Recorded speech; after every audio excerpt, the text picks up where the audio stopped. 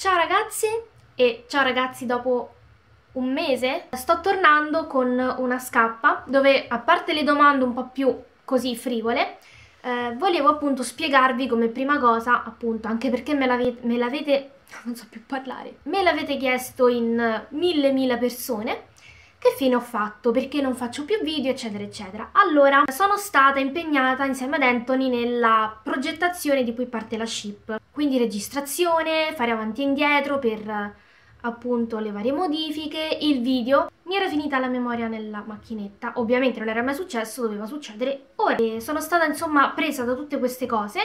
In più, poco prima di Natale mi sono raffreddata quanto odio questa cosa, comunque Vabbè. Il 20 dicembre mi è nato il mio secondo nipotino. Dopo Natale purtroppo eh, insieme al raffreddore si è aggiunta anche, come poteva non mancare, dici che fai, non mi fai venire, la febbre, evviva!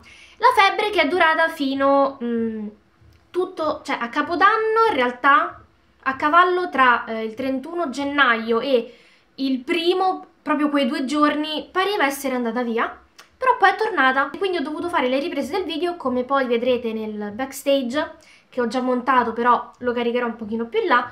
Eh, ho fatto le riprese con la febbre a 38,5 ed eccomi qua. Per la gioia dei miei carissimi hater che ogni giorno si moltiplicano proprio a, a bambera eh, benvenuti di nuovo in questi miei video che cliccate anche se così perché non avete niente da fare. Invece per tutti quelli che mi seguono sono tornata e niente, scusate per... no, scusate per l'attesa, che sto dicendo.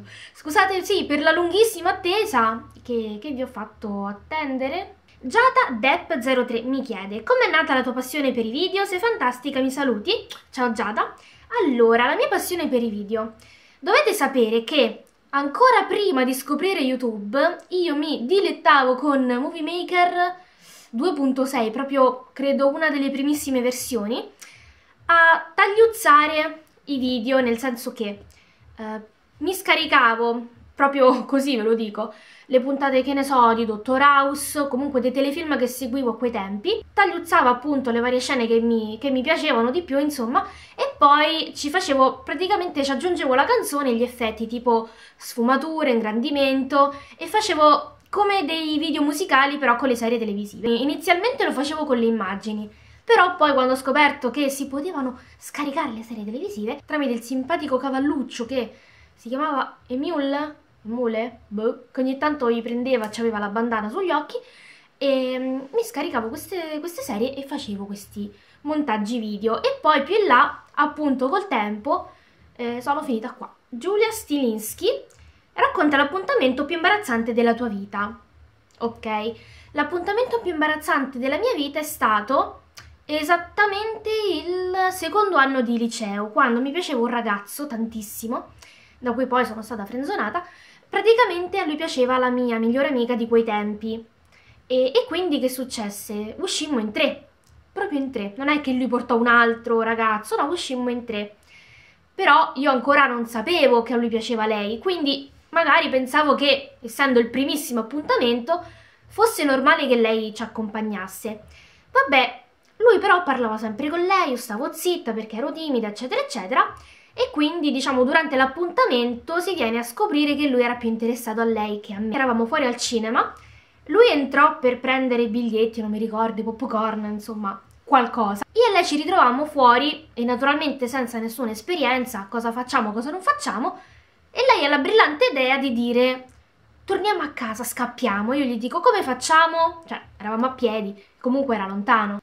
E mi ricordo che uh, a una certa noi abbiamo preso e siamo corse via, l'abbiamo lasciato dentro e non mi ricordo nemmeno cosa ci disse il giorno dopo, comunque il giorno stesso, perché a quei tempi non c'erano uh, né Whatsapp né, né, Facebook ancora e quindi c'era soltanto MSN, quindi non mi ricordo nemmeno cosa ci scrisse, magari se ci scrisse, però boh, non mi ricordo niente, mi ricordo solo che ce ne siamo andate via. Questa è una domanda molto bella, in realtà è una serie di domande. Julie Hans, come descrivi la tua personalità? Forte, debole, tendi a nasconderti?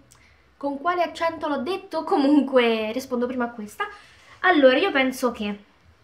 Sono proprio sincera. Allora, non mi voglio vantare né niente, rispondo semplicemente. Io ho avuto... Mm, praticamente un'infanzia molto priva di attenzioni, molto infelice, e è brutto dirlo però è così.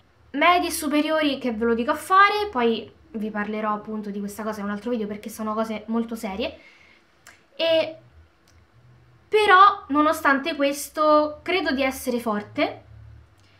Sono forte perché vado sempre avanti, me l'hanno anche detto, me lo sono anche sentito dire che sono una persona forte e vado avanti. So che ci sono cose molto più gravi nella vita, però per quello che è capitato a me, oggi mi sento forte. So stare da sola, non... Allora, in realtà, ovviamente la compagnia fa piacere a tutti gli amici, però se sto da sola mi va bene uguale, cioè sto bene lo stesso, non ho bisogno per forza di, di qualcuno a fianco. Sei estroversa, quindi dici le cose come stanno? Allora, estroversa e dire le cose come stanno sono due cose un po' diverse. Allora, non sono estroversa, aspetta, mi spiego meglio.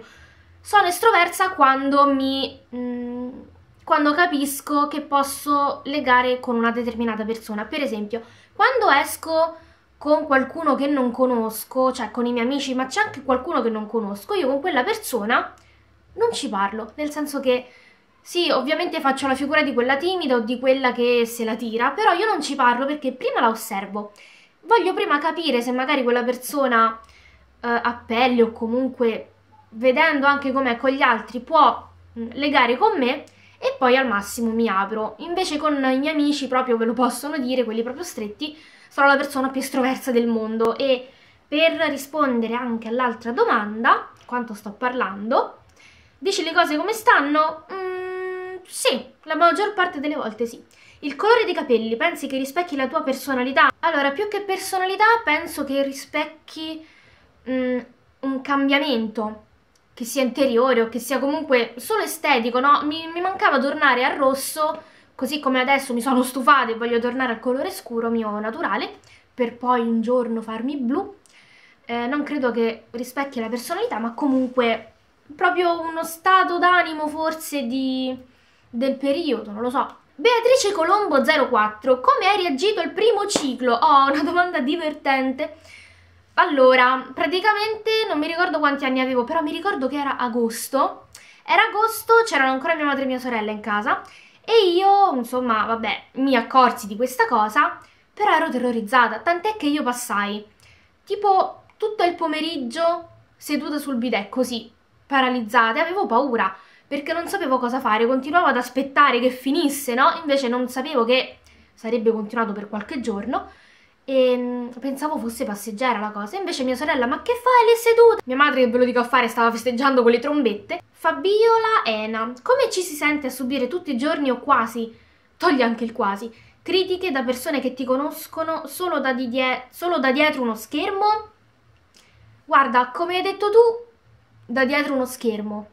Quindi, ma guarda, ultimamente YouTube sta diventando proprio saturo di odio più che di critiche costruttive, insomma, di consigli detti anche un po' in modo un po' offensivo. Però sto proprio notando che in quest'ultimo periodo, proprio, non lo so, la moda, la moda è accanirsi contro chiunque senza un motivo. Penso che appunto queste persone mi conoscono, mi conoscono, solo attraverso uno schermo, solo attraverso 10 minuti di video, come dico sempre comunque in questo mio lato frivolo, in questo mio piccolo canale frivolo, e, e, non conoscono niente di me praticamente, non conoscono i miei problemi, come sono nella vita, come li affronto, quello che ho passato e quindi non me ne frega niente. Molti potranno pensare sì, non te ne frega niente, ma non è vero perché ti dicono cose pesanti.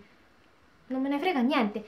E vi accorgerete e capirete del perché non me ne frega niente quando farò uscire a breve, perché dopo tre anni mi sono decisa, uh, a fare il video su, uh, sulla mia esperienza sul bullismo e sulla bulimia e, e, quindi poi capirete. Raki mi chiede, personalmente mi sono persa la storia di Cam, Cameron Dallas. Ci racconti qualcosa su questo? Come è stato incontrarlo? Ti adoro tantissimo e ti seguo da tantissimo tempo, grazie mille. Allora, non lo so, io in realtà questa cosa l'ho vissuta in maniera molto leggera, invece c'è gente che si è proprio accanita, come vi stavo dicendo poco fa, ho 2 minuti e 42 secondi. Beh, praticamente io e Anthony siamo andati a Milano e abbiamo alloggiato nello stesso hotel dove alloggiava Cameron Dalla. Io lo conoscevo ma non lo seguivo tantissimo. Invece Anthony lo seguiva proprio. Come tante ragazze che lo aspettavano fuori, io e Anthony abbiamo aspettato davanti l'ascensore tutta la notte, non abbiamo dormito, per appunto aspettarlo e farci la foto. Nel senso, ok, molte mi hanno detto, Dio, allora questa cosa la voglio chiarire, perché fa anche ridere. Allora, la foto che io ho messo su Instagram era delle eh, 9 del mattino, lui stava con 4 ore di sonno, lo so perché per 10 minuti io e Anthony non l'abbiamo beccato che era già salito. E appunto io e Anthony non avevamo dormito nulla, zero, e quindi sia io che Cameron Dallas eravamo proprio in uno stato pietoso e, e molti hanno detto Dio ma che sta male, ma che ha fatto? Era soltanto stanco. Era stanco, io ero stanca, non l'ho costretta a, far, a farsi fare la foto, non era assolutamente necessario che io facessi la foto, però ragazza o ragazzo, tu che un minimo conosci Cameron Dallas, te lo trovi davanti, che fai? Non te la fai una foto? Dai, parliamoci chiaro. Michele.scl, se, no, se leggo bene, hai mai pensato di fare la doppiatrice? È la voce proprio da film, saresti perfetta, grazie mille.